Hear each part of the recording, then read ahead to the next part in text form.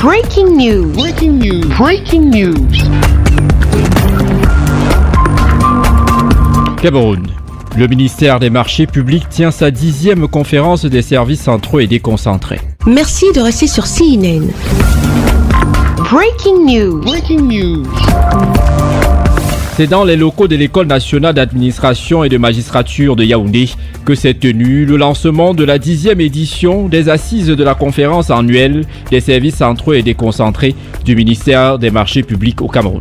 Une séance de travail présidée par Ibrahim Talbamala, ministre des marchés publics, qui a connu la présence de plusieurs membres du gouvernement, du gouverneur de la région du centre, du directeur de l'ENAM et des délégués du ministère des marchés publics Il était question de dresser le bilan de l'année écoulée et de procéder au lancement de l'exercice 2022 avec de nouvelles perspectives. La démarche qualité, c'est le, le BABA des investissements.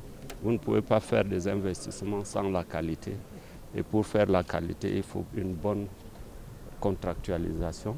Et pour faire la contractualisation, il faut également passer par une bonne qualité de passation des marchés, un bon suivi de l'exécution des marchés, dont la qualité aussi, parce que c'est au centre de l'affaire.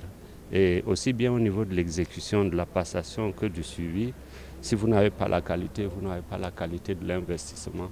Et par conséquent, vous perdez totalement les ressources affectées à cela et dont les populations ne peuvent pas se sentir à, l'aise, compte tenu du fait que le chef de l'État a mis à leur disposition des ressources pour qu'on puisse réaliser des investissements. L'accent cette année sera mis non seulement sur le contrôle de la passation des marchés publics, mais aussi et surtout sur le contrôle d'exécution des différents marchés publics au Cameroun. Une nouvelle stratégie qui, pour le ministre, permettra au ministère dont il a la charge de rehausser la qualité de service. Nous nous sommes rendus compte que même dans la SND, il faut quand même assurer les investissements.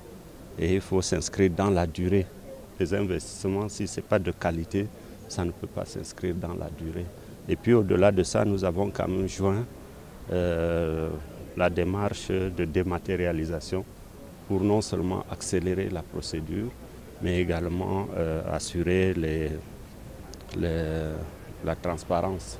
C'est à travers une dématérialisation qu'on peut mettre tous les, les, les prestataires sur le même pied d'égalité et comparer cela afin que, sauf ceux qui sont les meilleurs, gagnent les marchés. Le temps est donc donné pour apporter un nouveau souffle dans la gestion des marchés publics au Cameroun afin de rendre un meilleur service à la nation. Merci d'être sur CNN, la télévision autrement. Les programmes se poursuivent. Retrouvez en ligne toute l'info en continu sur CWeb Info, 100% info, non-stop.